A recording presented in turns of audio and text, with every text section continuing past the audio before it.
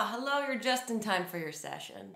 Oh no. I'm wearing a neutral, unoffensive top. I have a camera and a mouth by the unofficial rules of the internet echo chamber. That gives me authority to speak on issues surrounding mental health. Hi, my name is Grace Helbig. If you do not know now, you know your life is different now. I am not a professional therapist or a life coach, but sometimes I play one on the internet.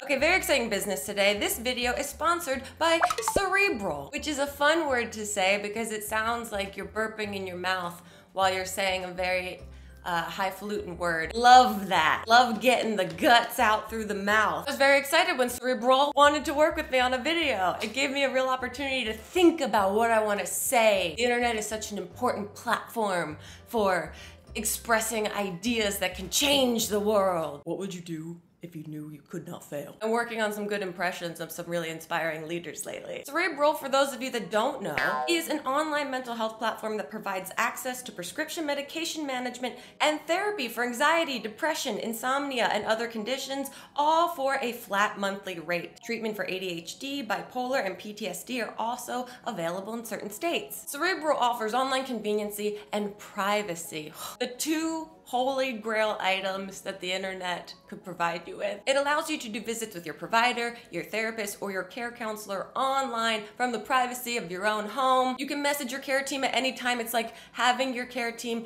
in your pocket on your mobile device. And there's comprehensive care. Your care team at Cerebral works together to create the best treatment plan for you. Your therapist, your care counselor, and your prescriber are all talking together, which doesn't normally happen in traditional settings. It's affordable with or without insurance. You can start Cerebral without insurance. However, Cerebral is in network with certain insurers. You start by filling out an online form. It's a simple questionnaire process, super easy. You answer a few questions to help Cerebral understand what you're going through. And from there, you can choose to subscribe to one of three different membership options based on your budget and your needs. And from there, the convenience continues. They offer an app that's available on Google Play or in the App Store. Champion your mental health is Cerebral's New Year slogan, and that's cute. If you're interested, you can click the link in my description to start filling out your questionnaire and get matched with your provider right away. And your first month starts at only $30. I'm getting excited on your behalf. all right. What does this have to do with what we're talking about in the video today? A lot. We're talking about mental health. We're talking about strategies and analogies that can help you in your life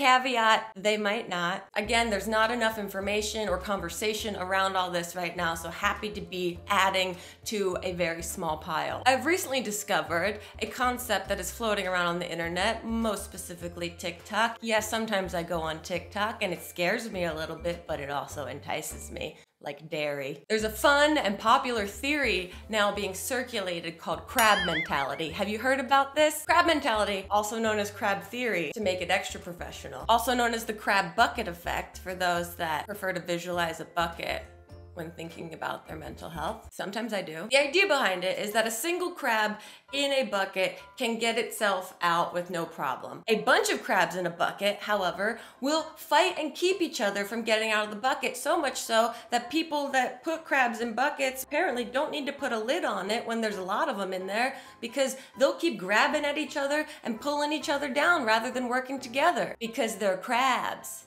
and they got little brains. Thinking behind it, if I can't have it, neither can you. In groups, people will try to reduce the self-confidence or the ability of those around them in order to get what they want. So I guess the idea is to recognize where you have crabs in your life that are pulling you down and to try to release or remove yourself from the crabby situation. I that's a pretty effective analogy. It gives you carte blanche to just look around at those you're working with and say, you're a crab, you're a crab, you're a crab, you're a crab. I'm gonna get the fuck out of this bucket, you nasties. It got me thinking about how the animal world is so ripe with analogies for us to use to better ourselves in our relationships, creative endeavors, personal lives in general. Animals don't have access to therapy, as far as I know. And so their natural survival instincts, their innate capacity to survive, is the purest form of mental health.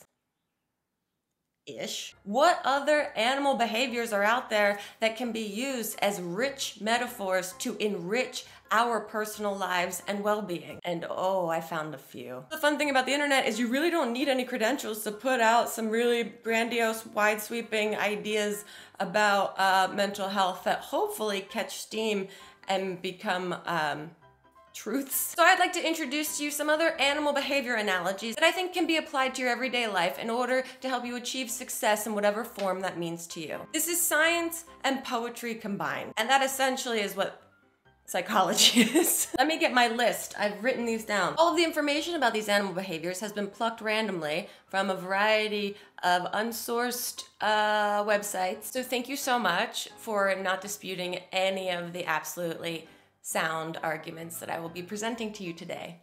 The opossum postulate. How do you pronounce opossum? Opossum.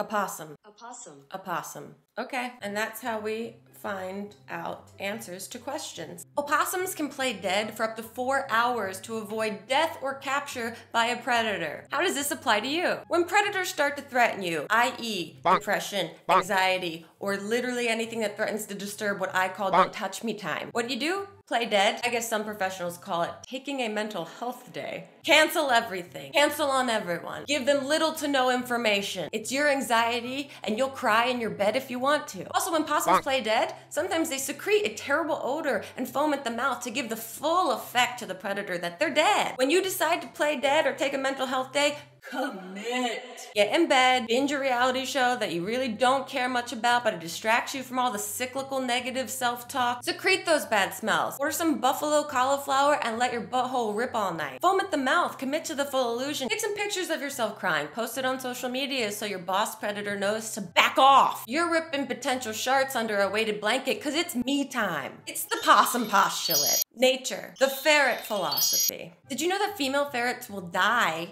if they don't mate once they go into heat. Morbid and sexy. How does this relate to you? Obviously. This is about getting what you want. When you set your sights on something, you have to go for it like you're gonna die if you don't. A sexy ferret philosopher once said, Get your fucking ass up and work. In other words, if you get horny for an idea or a goal, you have to f** that idea slash goal like your life depends on it. The ferret philosophy. The sloth drop. Sloths are majestic and horrifying creatures to me. One of their most endearing qualities to me is that they relieve themselves once a week, and when they do, they can poop up up to one third of their body weight. They can shit a third of their body in one go. How does this apply to you? Easy. When it's time to let something go, you gotta let it go. I'm talking toxic friends, unfulfilling relationship, dead end job. What's another word for poop? When you identify a surplus of crap in your life, you don't wanna get rid of it little by little. You wanna have a big BM to get to a BM, big bowel movement to get to a better me. The sloth drop, simple. The giraffe hypothesis, or the giraffe hypothesis, or the giraffe hypothesis. Did you know that male giraffes will test a female giraffe's fertility by drinking her piss? Now you know it. Nature is delicate and beautiful. How does this apply to you? Easy. This obviously connects to romantic relationships, pleasurable partnerships. Finding the right partner can be a very difficult and complex situation. You're really not going to know someone until you experience the more intimate details of that person psychologically, physically, spiritually. So, in line with the giraffe hypothesis, you got to metaphorically drink their pee you have to experience the intimate aspects of them to see if it's a right fit. Otherwise, you're in trouble. Drink their piss to see if it's a miss. Drink their pee, see if it's meant to be. I told you, science, poetry, that's psychology. You're still following along, right? I hope you're taking notes. Tongue eating louse lesson. There's a parasite called Cymothoa exigua, Cymothoa exigua, otherwise known as tongue-eating louse. The female tongue-eating louse is a parasite that enters fish through the gills. It will attach itself to the fish's tongue. Over time, it will destroy the fish's tongue, attach itself to the stump of what was the fish's tongue, and thus becomes the tongue. How does this apply to you? Uh,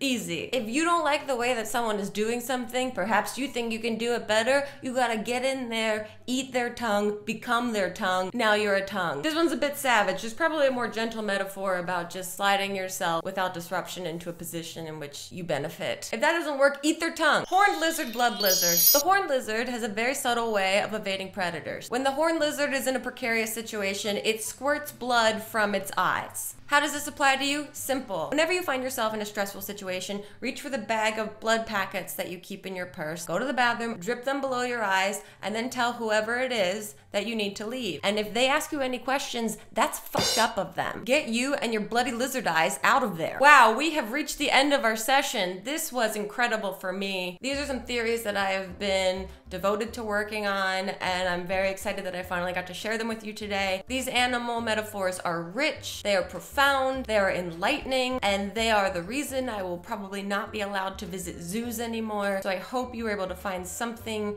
interesting, entertaining, and educational here. Thank you guys so much for watching. If you like this video, give it a thumbs up. And if you're interested in Cerebral, click the link in the description below. Now I'm gonna go drop it like a sloth before I have an actual terrible accident. Other than that, I don't know.